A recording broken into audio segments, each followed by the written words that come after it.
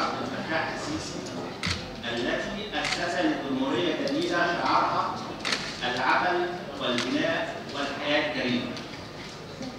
الزملاء الأعزاء يسعدنا اليوم أن نعلن عن أن معرض صناعة بلدنا سيكون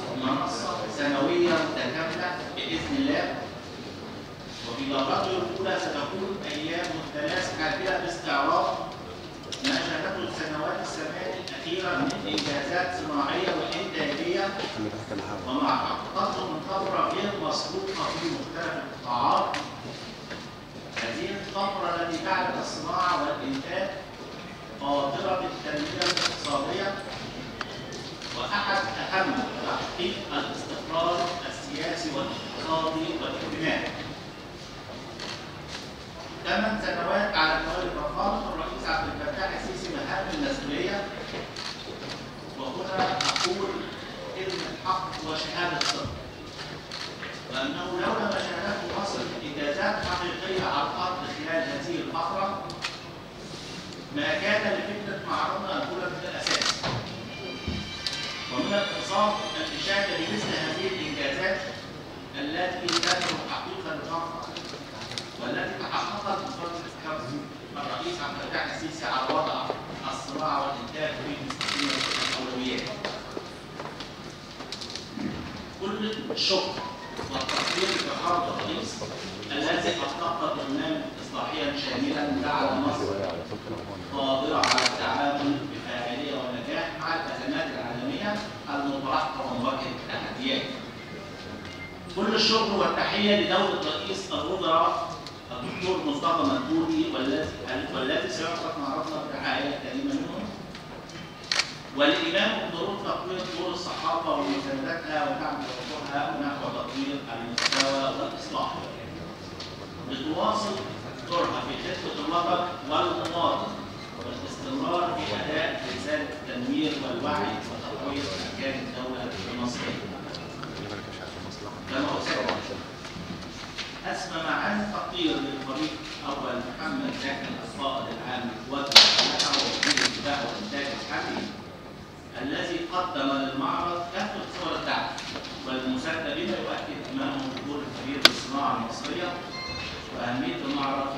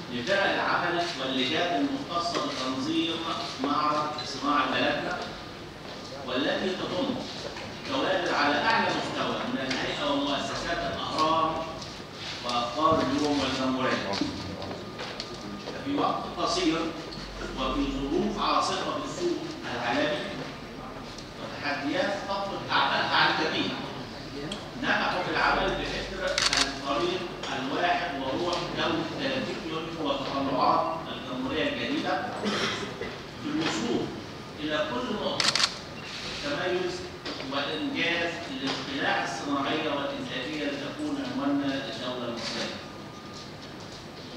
هذه الروح الطيبة انعكست على حجم المشاركة في المعرض رغم كل الصعوبات والتحديات. حيث سينطلق معرض صناعة بلدنا بمشاركة عارضون يمثلون مختلف المؤسسات والهيئات والشركات الوطنية في مختلف مجالات الصناعة والإنتاج. الحضور الكريم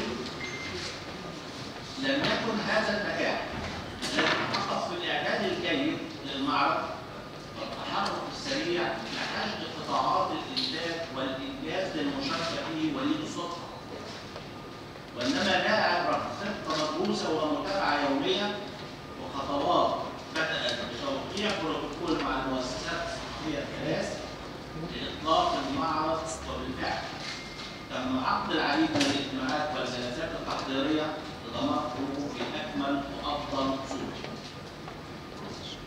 السادة الصحفيون والإعلاميين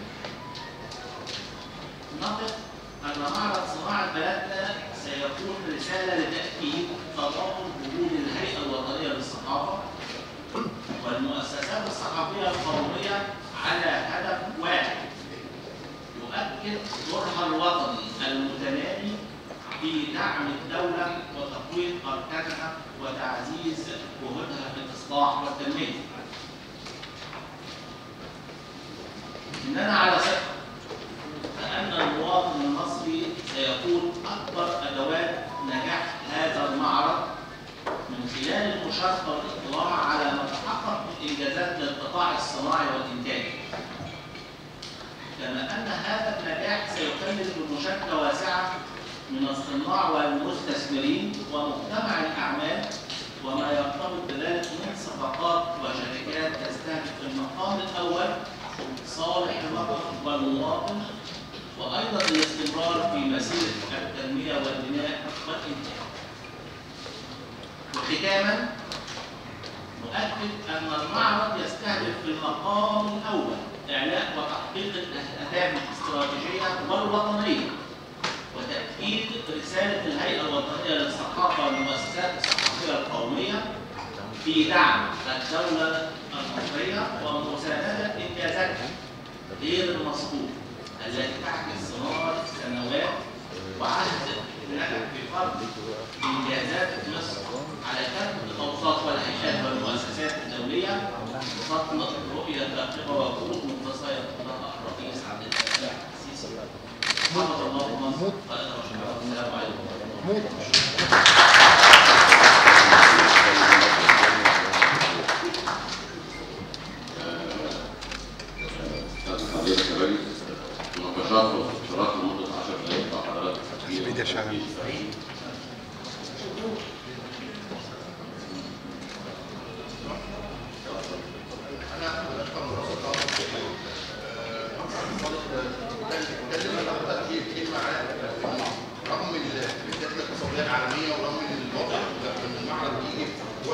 ازمه اقتصاديه كبيره انكم مصممين انكم تعملوه. هل أنت شايف إن المعرض دوت هيخفف عن المواطن اللي هيزوره بمعنى إن في وضع اقتصادي صعب شوية في العالم مش في مصر هل ده هيكون دافع يجي المعرض؟ طبعا آه، سؤال كويس جدا آه، يمكن برضه يعني إحنا بالظبط يعني قبل ويعني صادفنا برضه بعض الصعوبات وهي يمكن الازمه الروسيه الاوكرانيه جت وبالرغم من ذلك تقريبا كان اجتماعات يوميه مع اللجنه العليا واللجنه التنفيذيه وقلنا تحديات والحمد لله قدرنا كان نفس الميعاد ان إحنا نعمل هذا المؤتمر وطبعا بالنسبة للمواطن آه، المعرض آه، بالنسبة لسؤالك يعني أعتقد إن في كده مفاجآت كويسة جدا في ال- في المعرض وهي نسبه الخصومات تقريبا لأول مرة بنتكلم عن حوالي 30% تقريبا خصومات في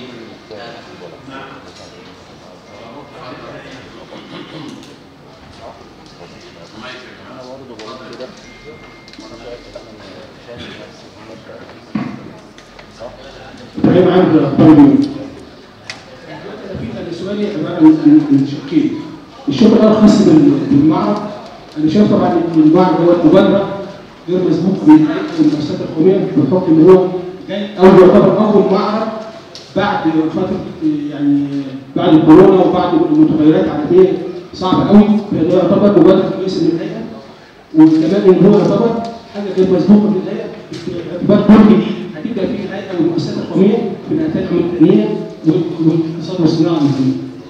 السؤال الثاني بالنسبة لل بما ان الهيئه بدات تاخد دور جديد ليه الهيئه آه، بالتعاون مع المؤسسات القوميه ما تبداش نشوف استثمارات ثانية وبالذات تخش مثلا مجال الصناعه خاصه وخاصه الصناعه اللي لها علاقه بال- بال- بالصحافه زي الورق والحاجات دي ليه ما تخشش في وتاخد مبادره وتخش في المجال دوت بحكم ان هو مجال جديد آه، جديد يدعم المؤسسات لمواجهه المتحديات الجديده. يعني أنا هجاوب على السؤال الثاني وأنا مش عارف استغرب كل الأسئلة اللي جت عشان عندي هنا شطور نجاح كتير قوي المفروض عارف افضل فيكم الفرصة ولكن أنا هتكلم بالنسبة للسؤال الثاني وهو الحقيقة في آه، مجالات كثيره جدا وفي محاور الدولة اشتغلت فيها. في محور الزراعه في في الصناعة في حاجات كثيره جدا. إحنا في البداية إن شاء الله هنشتغل لأن طبعا آه، في روح جماعة بين الهيئة وبين المؤسسات- الصحفية وكان آه، المكسب آه، هذا المعرض ده مكسب كبير جدا جدا إن كل اشتغل في طريق الجروب أو طريق الفريق. فده آه، إفادة كبيرة جدا.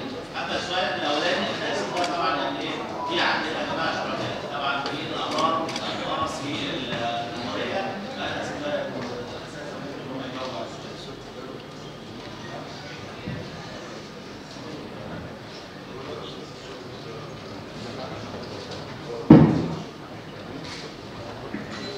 وطبعا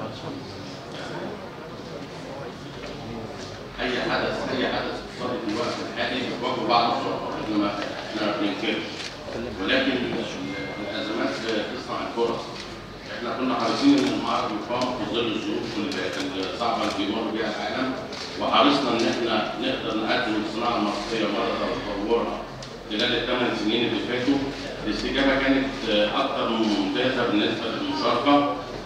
حاولنا نقدم الصناعه المصرية حاولنا نقدم خدمة للمستهلك إن هو ممكن يلاقي منتجات بسعر مناسب في ظل آه، الظروف ال- الحالية. آه، أف- أفضل امور بالنسبة لنا كانت التعاون المثمر بين المؤسسات الثلاثة ودي لأول مرة تحصل آه، من خلال الهيئة وقناه الصحافه إن شاء الله دي الدورة الأولى الدورات اللي جاية هتكون آه، أكبر وأقوى وزي ما قلت إن إحنا بنعمل حاجة تساند وتدعم الصناعه Gracias.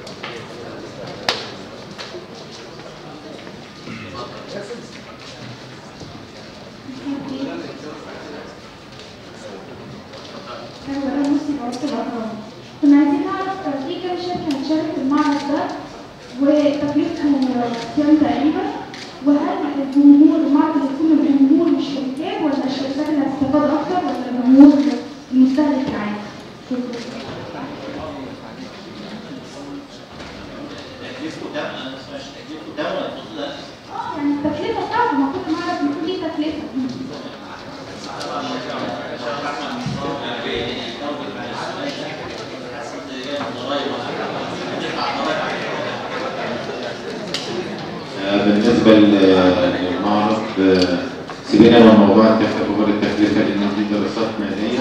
مش كده. إحنا بنحتفظ بيها آه، لظروف المنافسة بصفة عامة. لكن آه، المعرض فيه أكثر من 70 شركة بيغطي قطاعات آه، كتير جدا. آه، يكون أجهزة كهربائية، قطاع الأدوية، قطاع المفروشات المنزلية، يعني أنا مش عايز أنسى مستلزمات البناء. يعني وقطاع الصناعات الغذائية. هو كان في هدف مهم في المعرض إن انت بتمثلي القطاعات الإنتاجية اللي في الدولة اللي شغالة. آه، لأن حركة العمل فيها ما- وقفتش بل بالعكس في مصانع جديدة بيتم افتتاحها وفي مشروعات كثيره بره من الظروف العالمية. وبالنسبة للجمهور المعرض مفتوح للجمهور وفي بيع مباشر. بعض الأجنحة وفي تخفيضات زي ما قال آه، السيد رئيس الهيئة الوطنية في تخفيضات حدود 30% وهو الهدف فعليا إن إن يبان الحاجات المضيئه في مصر اللي شغالة. شكرا.